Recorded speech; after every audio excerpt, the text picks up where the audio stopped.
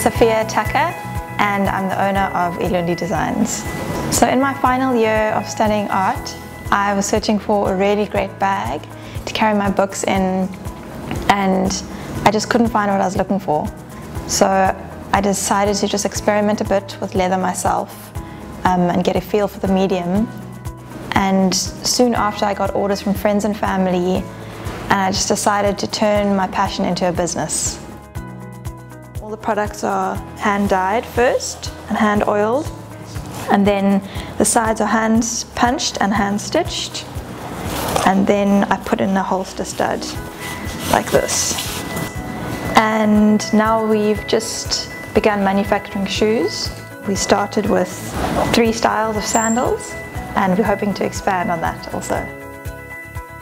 So the CCDI have been very helpful.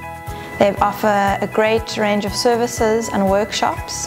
So they've helped us to set up systems financially.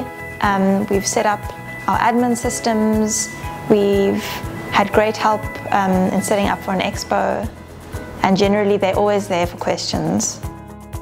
CCDI helped us extensively um, with the DBSA Jobs Fund project.